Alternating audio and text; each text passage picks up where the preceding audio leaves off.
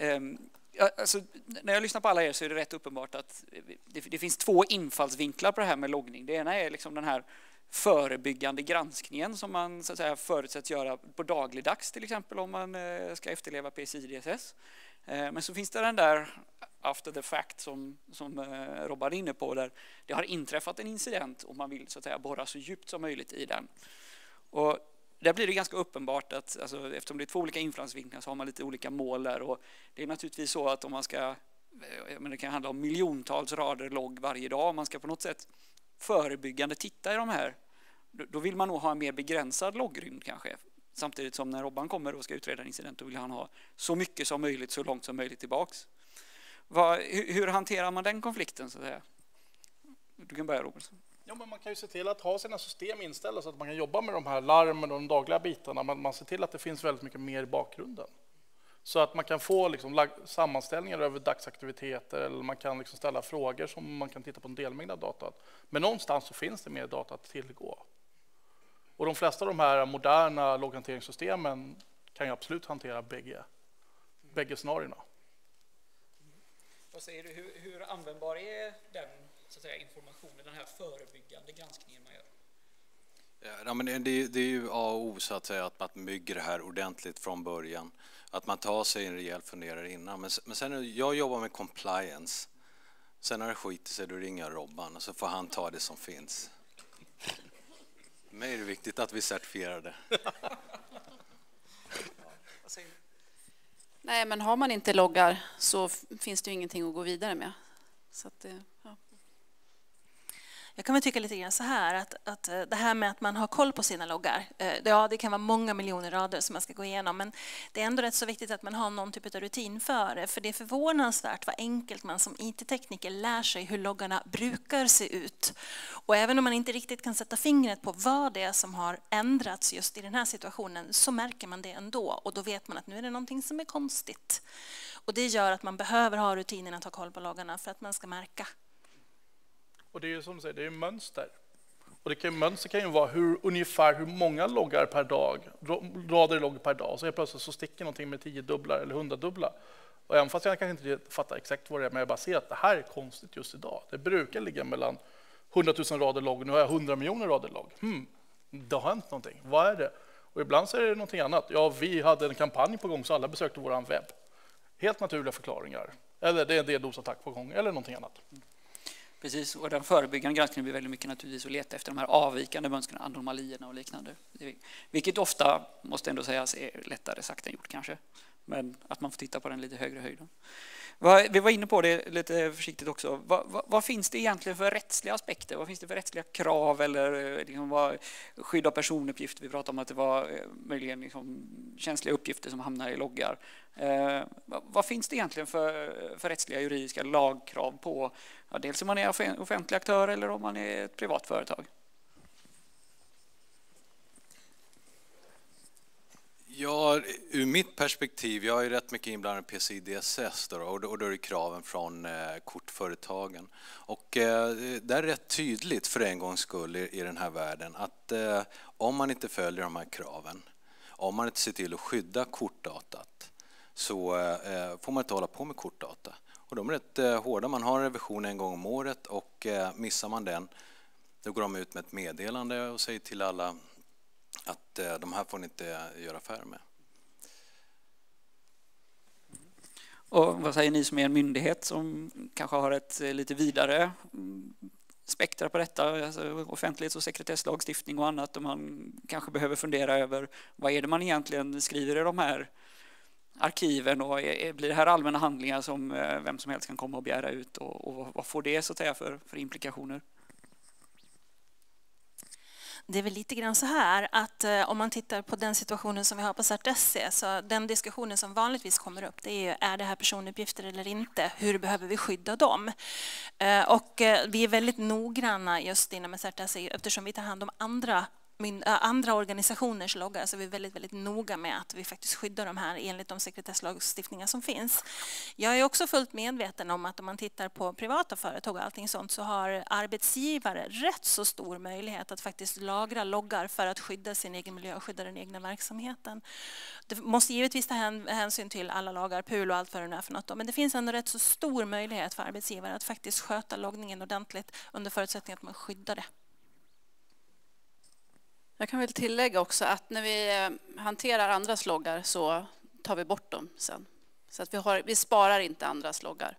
Utan när incidenten är över så, och vi har utrett det klart så är det, tar vi bort det.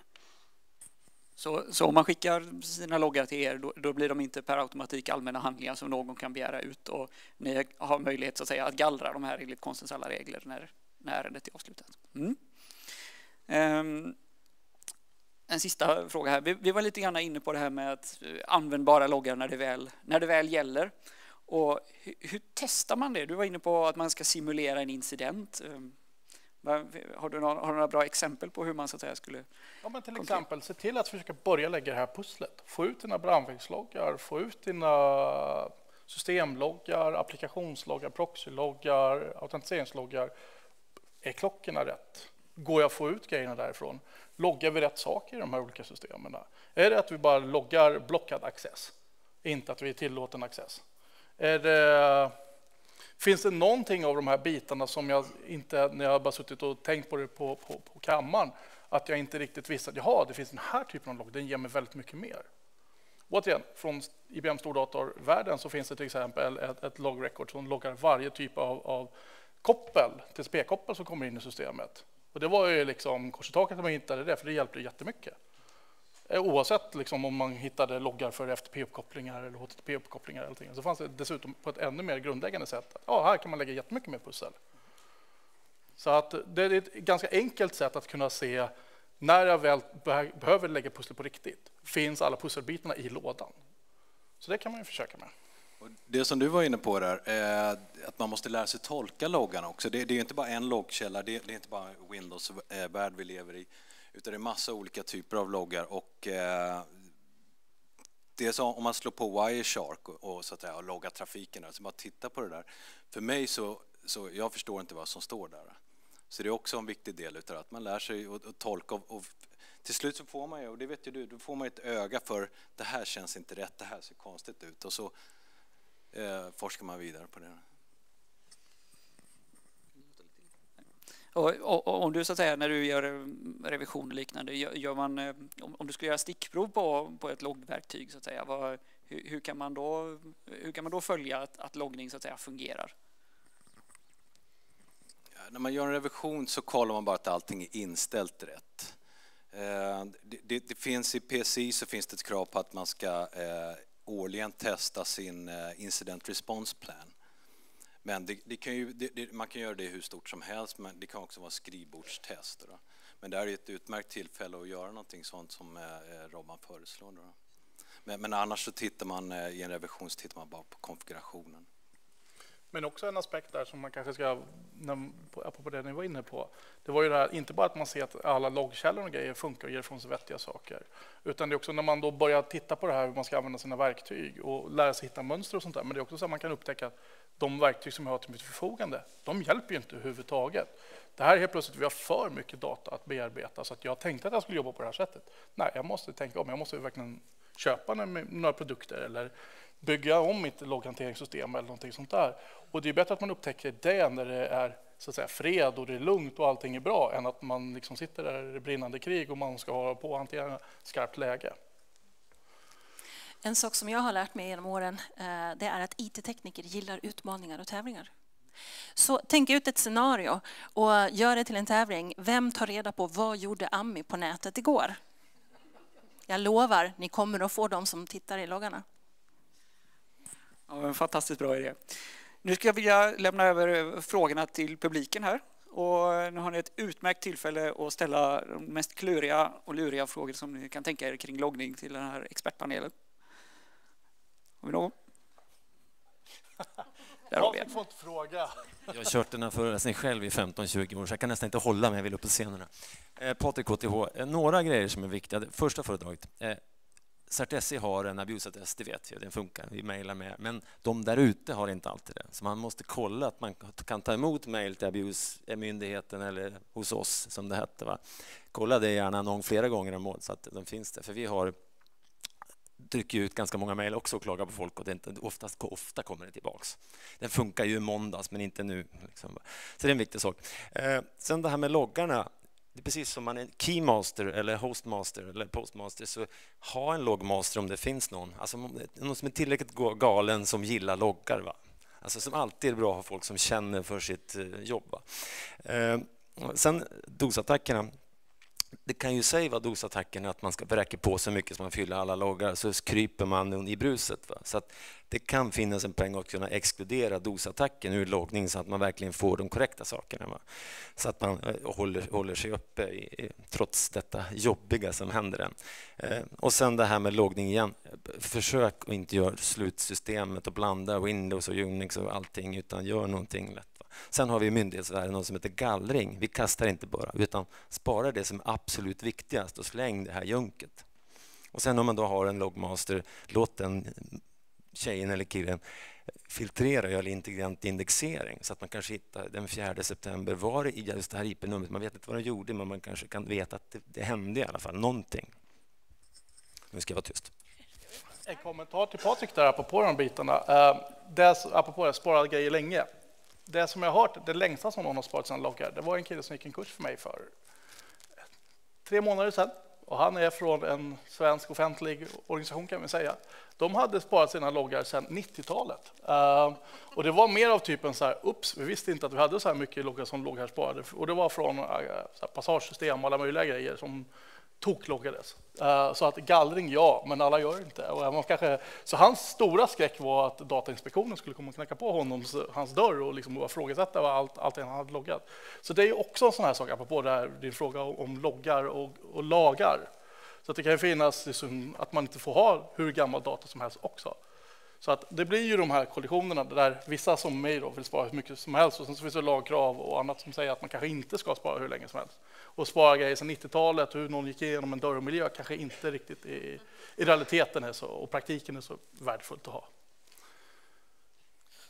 Hej, hej, Nils heter jag. När jag lyssnar på er från CERT.se så låter det nästan som att eh, ni konsultar väldigt, väldigt mycket åt privata företag. Hur mycket privata företag jobbar ni med?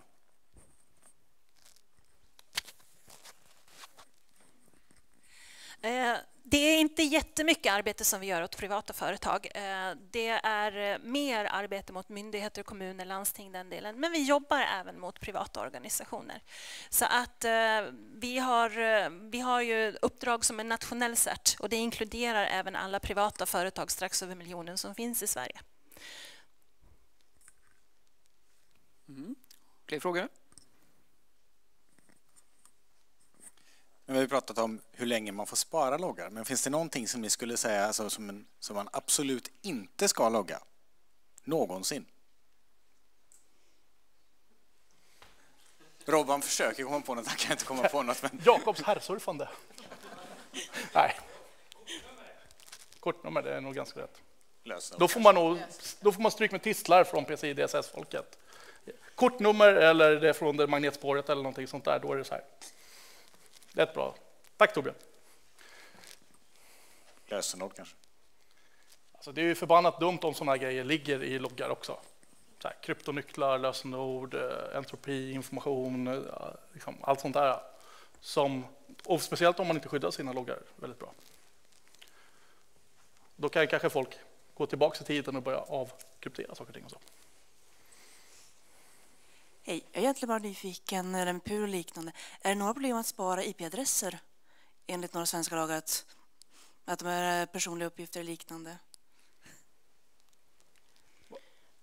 Jag uppfattade inte riktigt frågan. IP-adresser. Är det något problem att logga dem enligt någon lag? För jag, jag vet inte, därför jag frågar. Ehm, det är väl så att Datainspektionen har eh, en, eh, formulering i sina regler som säger att IP-adresser kan räknas som indirekta personuppgifter.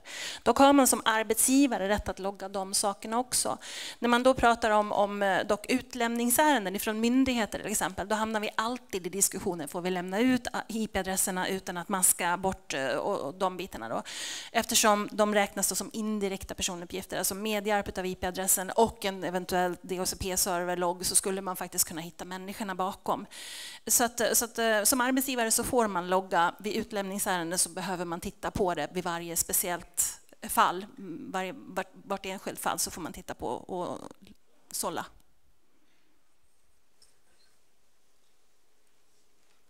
Fler frågor?